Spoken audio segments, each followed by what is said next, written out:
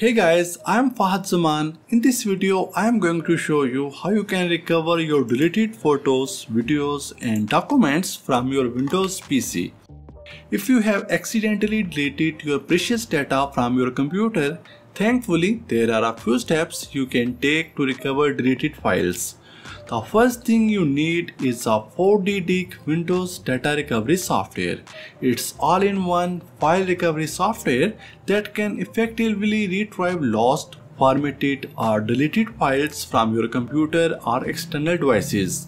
And if you need 100 MB of data recovery for free, click on the share button and post it on the social media platform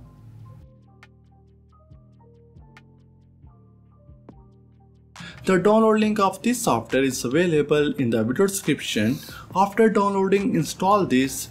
After you install and launch 4DDiG Windows Data Recovery software, you will come to this interface, which displays locations like devices and drives and common positions like desktop, recycle bin and select folder and in advanced recovery option you can also recover data from crash computer. And with this you can also repair your photos and videos. So you can select desktop recycle bin or any folder. And in our case we want to recover data from hard drive.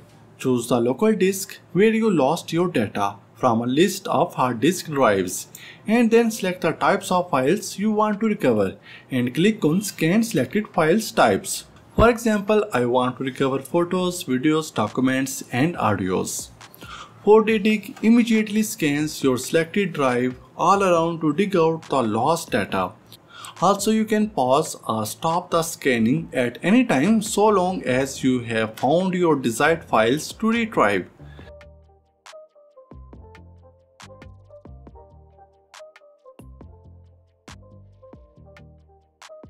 It lists the scanned items based on tree view and file view as 4DD keeps finding the deleted files in the drive. There is a progress bar showing how much has been accomplished.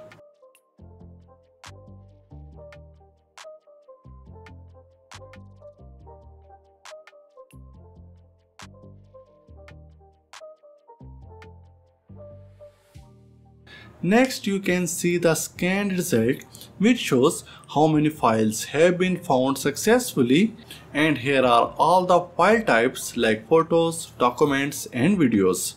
And in the file view we can see here are all our photos. You can select your desired files based on category, preview them to get the detailed info, select the files which you want to recover